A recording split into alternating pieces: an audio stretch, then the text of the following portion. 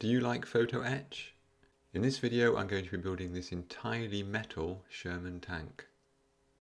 Hi guys, the kit in this video was sent to me about a month ago by the people at Moyu Store for a review on my channel. We can see from the text and the image on the front of the box that this is a Sherman tank and it's pre-printed in this uh, winter camouflage scheme. Let's have a look inside the box.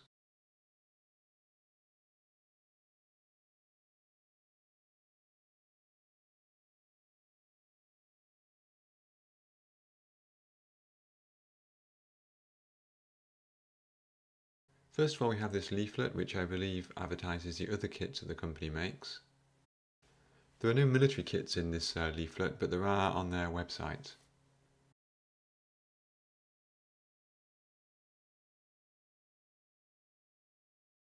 Then we've got the instructions, we'll come back to those in a moment. And then here is the kit itself. We've got a metal gun barrel bag of, um, let's call them balloons. I'm not quite sure what these are for. And then the kit itself is here. And you can see it is sheets of photo etch material pre-printed. So we've got that um, dark brown and white sort of winter camouflage scheme on one side and then the bare metal on the other side. So on this um, what would we call it, a fret, I guess. We have the main body of the Sherman, and then we have the tracks here, two links on each side, and those tracks have the quite distinctive uh, Sherman track pattern, tread pattern, um, sort of 3D um, embossed in them. And then we have the turret, uh, the side of the tanks, a few of the bits and pieces, I did notice when I took these out of the box that they were slightly bent at the edges. This wasn't a result of the postman because these were really well packed inside cardboard and plastic. Um, I think it's just the way it was packed at the factory perhaps. Luckily it didn't damage the, uh, the parts.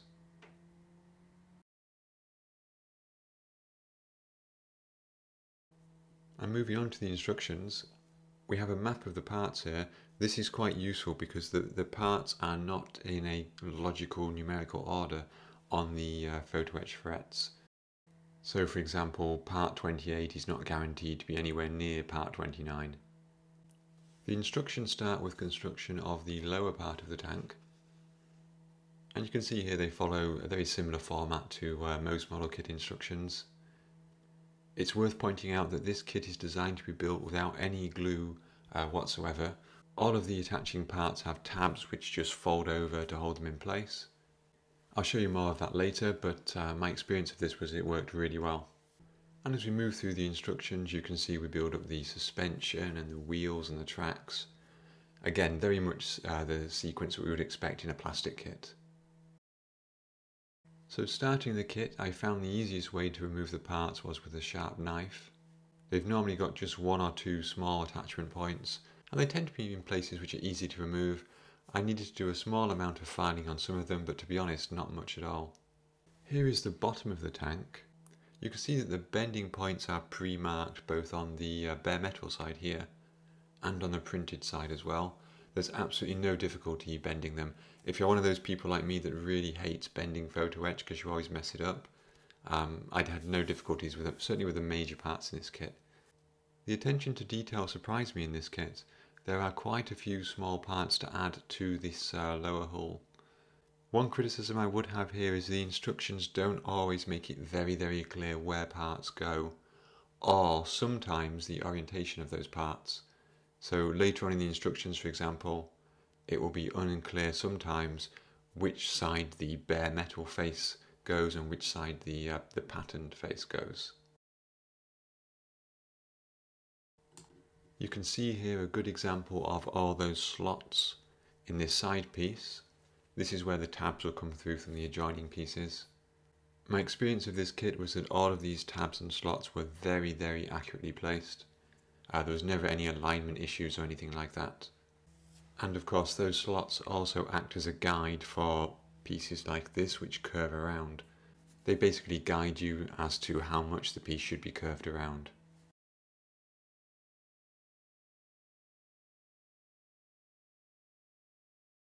Here is the bottom of the tank. It's nice and square, it sits nice and stable on the mat. Now this sequence here is quite hard to show you because the pieces are very small, my fingers are in the way, and I don't have my macro lens at the moment either, but I'll do my best. This is one of the many curved parts in the suspension. Any part that needs to be bent or made into a circle has lots of creases on the inside, so that process is very easy. So in this case, for example, I used a pen to help me bend them initially.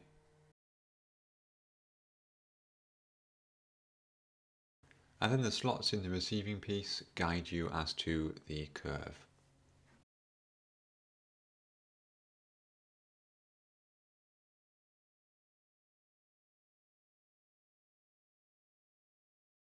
Here you can see that finished suspension piece. And this was one area in particular where the instructions were not clear about which side of the uh, metal piece was facing in and which was facing out. So you do have to read a bit further forward in the instructions sometimes. And then all three pieces together. One slightly odd feature of the instructions is that even when we have the same piece being used multiple times, they have separate numbers, which is a bit confusing. And those numbers are not sequential either. So you see here we've got C26, C32, C35, C55, etc. But they're all the same piece. There's no difference between them. Um, which is not a big deal, but it does sometimes make life a bit more confusing than it needs to be. We can see the return rollers here. I haven't shown the individual construction of those just because it's quite hard to see uh, with my fingers being in the way. And the drive sprocket. There were a couple of parts where bending or trying to get the tabs into the slots caused the uh, printed paper to come off the metal. So if you see any exposed metal on the outside of the tank, that's because that paper printing has come off. Although to be fair, that has only happened in a few areas and only in very small places. The tracks were super easy to attach. There's one piece for the top and one for the bottom. And they have tabs which go into the side of the tank hull, which gives you guidance as to their position and it also keeps them secure. Throughout the construction of this vehicle I used different techniques to bend the tabs over. Sometimes I use the end of the tweezers but the best tool I found was the sanding stick that I have. The two ends of the tracks go together using the standard slot and tab system.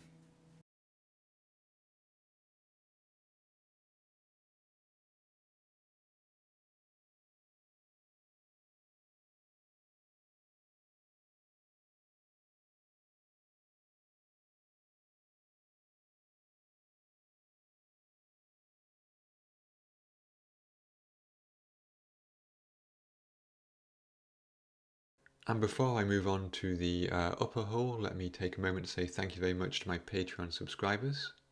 Their names are on the screen now and they provide uh, monthly support to the channel, which is massively appreciated. Thank you very much guys. I know that in these times in particular it can be difficult to uh, do things like support Patreon uh, members, so I really really do appreciate the fact that you support me each month. Moving on to the top of the hull, and as you can see, it is uh, one large part. And you can also see there the dozens of small slots in it, therefore the various additional details that you'd expect, so the tools, extra tracks and so on. There's some quite clever printing being used for some of these tools. So here for example you can see the spade and it's got the uh, printed sort of brown handle and then the bare metal uh, for the head itself. Attaching these is fairly straightforward, slightly fiddly, but there are guidance um, outlines printed on the tank hull so you know exactly where they go. And those tabs just fold over from the other side. Here we can see three of the tools added. I haven't shown all of the uh, various things being added because there's so many of them. And very tiny elements like this one here. This is one of the periscopes. Again, I was pleasantly surprised by how easy it was to bend these. I never had any issues where the wrong part would bend or it would twist the entire uh, item or anything like that. There were a couple of parts that I missed off the front. The kit does include the headlights and the headlight guards, but to be honest, I couldn't get them to fit. And I think mainly because I couldn't really understand the instructions. I think that is one area where they could have done with a big um, blown up uh, part of the instructions there, which I didn't, didn't have. And uh, I, I just couldn't work out how it was supposed to go on. Even with the tabs as guidance, it just didn't seem to make sense to me. Here you can see the result of adding all that detail to the tank. So we have the 3D spare track links on the side, the hatches, the periscopes and so on. The turret was another area with lots of detail and lots of pieces to be added. Almost as many as a uh, plastic kit I felt sometimes. The nature of the parts on here meant they were smaller than average and they were a bit harder to work with. But you can see the result of that is we have a lot of detail. We've got the nice raised hatch, got the periscope on top of it. So it's clear they haven't skimped on the detail. This kit is well engineered and you do need to follow the instructions carefully in sequence. Uh, particularly in this part here where I got a, li a little bit um, keen and I folded down the front and the back of the turret before I should have done. It turns out that's a bad idea later on. Um, so yeah, don't get tempted to do that kind of thing if you build this kit. The back of a Sherman turret of course has some fairly complex curves and I feel that's been captured really well considering the, uh, the entire thing is made out of metal.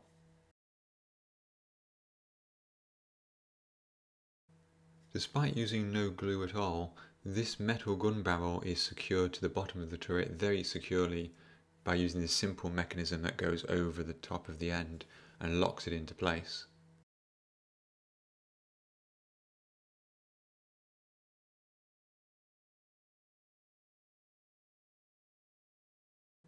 There's absolutely no unwanted travel in that barrel whatsoever.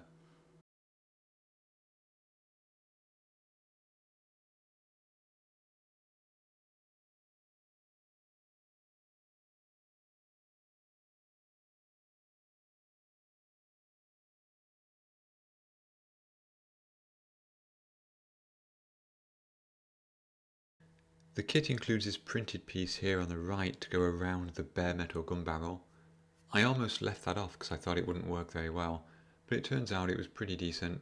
It was easy to bend because it was already uh, marked on the on the uh, bare metal side. Of course, there's a seam line where that piece uh, joins. There's not much you can do. I just made it as tight as possible and then just uh, positioned it downwards. And then finally we have the muzzle brake. This was fairly fiddly Again, I used the pen to sort of shape it initially, and uh, I finally got it onto the end of the barrel. It doesn't look brilliant, but it doesn't look too bad. One area of clear difficulty was getting the bottom of the turret bent into the appropriate circle shape so it would fit into the top of the tank hull that was really difficult and I do feel there could be a better mechanism for doing that. Um, I still haven't got it right, but uh, it's the best I could do.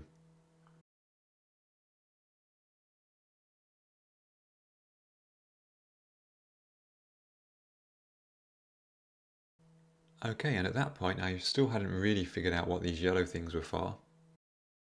Finger protectors maybe?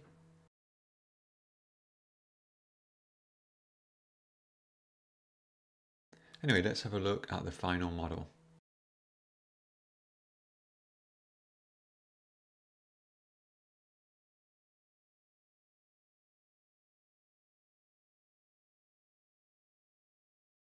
Okay guys, and that was my build, and uh, obviously not paint or weathering because it doesn't need it, of the metal Sherman which was supplied to me by Moyustore. I'll leave a link to their website in the description. What did I think of this kit? At first I was quite wary because I'm not a huge fan of photo etch and I was expecting to have lots of problems with parts not folding properly or folding in the wrong place, maybe parts getting twisted and so on and me not being able to flatten them out again. I didn't have any of those problems.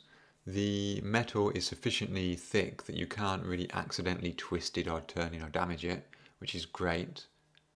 It's a well engineered kit, definitely. All of the tabs and the slots line up. Um, despite the material, there's a good amount of detail. The curves are represented well, for example. I mean, the, the turret really is, is excellent, considering it's all made from just flat sheet metal. It was quite an enjoyable build. I did spend a large part of the build, probably about 40% of it, making those wheels and suspension. That did get a bit tiresome at times. The rest of it was enjoyable enough. So from a technical point of view, the kit is, is good, it goes together well. Uh, if this is your cup of tea, then it's um, a good example of a metal kit. There were a few minor problems. Some of the smaller pieces which need to be curved were quite difficult. And sometimes I did, as I, as I said, uh, end up stripping off that printed um, textured layer by accident in a few places. Nothing major though. Personally, I do like the painting and the weathering stage of, uh, of model making. So I'm not sure if metal model kits are something I would build on a uh, regular basis, but I did enjoy this as a, a change from what I normally build. Price wise, um, obviously I got this kit for free, but on the website it's uh, about 34 US dollars. Obviously shipping would depend on your location. Scale wise, it's not mentioned on the box. It's definitely smaller than 135th scale. It might be closer to 148th. So overall, I think I would say uh, it's a nicely engineered kit. It's a, obviously a popular subject to Sherman. Nice printing. If you think that metal kits might be for you, then I think this will be a good example of one to try. I probably wouldn't rush out and buy another metal kit to build next week. Uh, but I think I would definitely be interested in maybe trying another subject at some point in the future. Okay, and that's it for today, guys. In next week's video, I'm going to be building some 172nd scale armour, which I haven't done before. It's a nice little kit which I think you'll enjoy. So I hope to see you then. Thank you very much for watching, and if you haven't already, please consider subscribing and liking this video. Thanks guys.